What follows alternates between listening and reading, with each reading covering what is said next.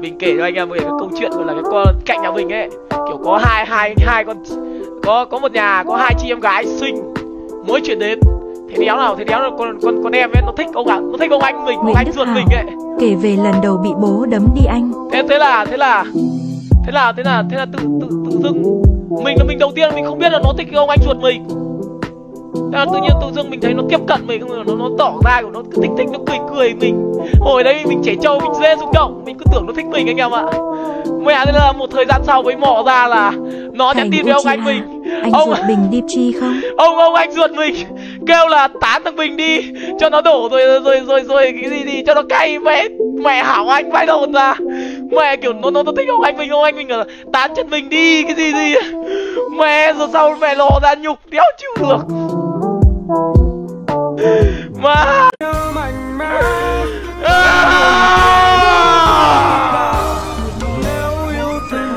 mà